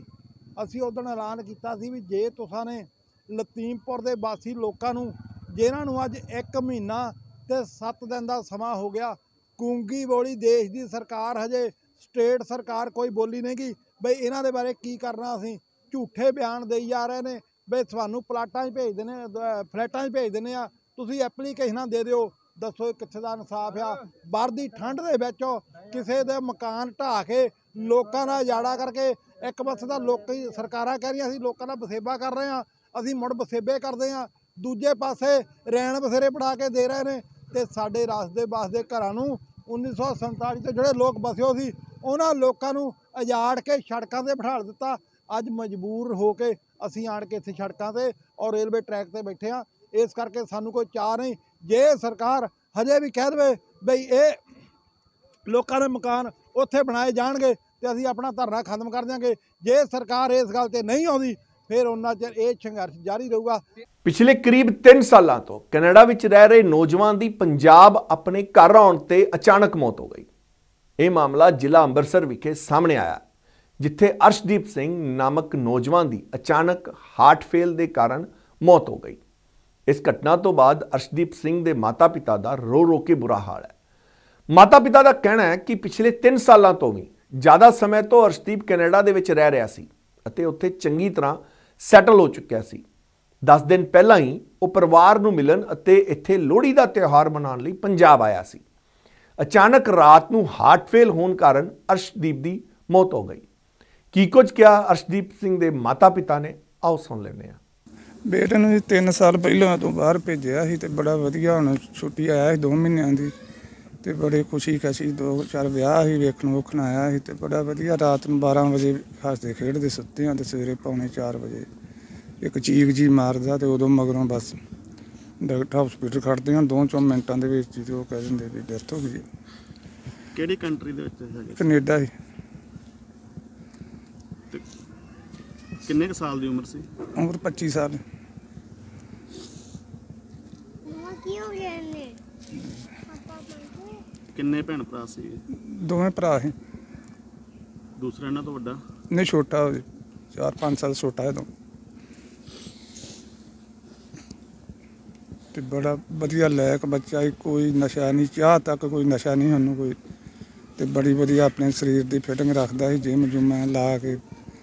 ਤੇ ਸੋਹਣਾ, ਬਹੁਤ ਜ਼ਿਆਦਾ ਲੈ ਕੇ ਜਿੱਥੇ ਕਹੀਏ ਉੱਥੇ ਖਲੋਣਾ, ਜਿੱਥੇ ਕਹੀਏ ਇੱਥੇ ਨਹੀਂ ਜਾਣਾ, ਉੱਥੇ ਨਹੀਂ ਜਾਣਾ, ਜਵਾਬ ਹੀ ਹੈ ਨਹੀਂ ਗਾੜੀ ਕੋਈ। ਤੇ ਬੜਾ ਜ਼ਿਆਦਾ ਡੂੰਘਾ ਦੁੱਖ ਪਾ ਗਿਆ, ਇੰਨਾ ਦੁਖੀ ਹੋ ਗਏ। ਕੁਛ ਅਟੈਕ ਆਂਦੇ ਆ ਗਿਆ ਅਸੀਂ ਹਸਪੀਟਲ ਲੈ ਕੇ ਗਏ, ਉਹਨਾਂ ਕਿਹਾ ਕਿ ਇਹਨੂੰ ਸਾਇਲੈਂਟ ਅਟੈਕ ਹੋ ਗਿਆ। ਆ। ਕਿੰਨਾ ਚਿਰ ਹੋ ਗਿਆ ਸੀ ਬਾਹਰ ਗਿਆ ਨੂੰ? ਇਹਨੂੰ 3 ਸਾਲ ਦੇ 3 ਦਿਨ ਦਿਨ ਬਾਅਦ ਇਹ ਆਇਆ। ਹੈ। ਤੇ ਇੱਥੇ ਆਏ ਨੂੰ ਕਿੰਨਾ ਚਿਰ ਹੋਇਆ ਸੀ? 10 ਦਿਨ ਹੋਈ ਸੀ। ਸਾਇਲੈਂਟ ਅਟੈਕ ਹੋ ਗਿਆ? ਹਾਂਜੀ। ਮੈਰਿਡ ਸੀ ਨਾ ਅਨਮੈਰਿਡ ਸੀ? ਅਨਮੈਰਿਡ ਸੀ। ਕਿੰਨੇ ਸਾਲ ਦੀ ਉਮਰ ਸੀ? 25 ਸਾਲ ਦੀ 26 ਲੱਗਾ ਸੀ 11 ਦਸੰਬਰ ਨੂੰ। ਤੇ ਇਹ ਸੀ ਅੱਜ ਦਾ ਪ੍ਰਾਈਮ ਟਾਈਮ ਕੱਲ ਫਿਰ ਮਿਲਾਂਗੇ ਇਸੇ ਟਾਈਮ ਤਦ ਤੱਕ ਦੋ ਮੈਨੂੰ ਇਜਾਜ਼ਤ ਸਤਿ ਸ਼੍ਰੀ ਅਕਾਲ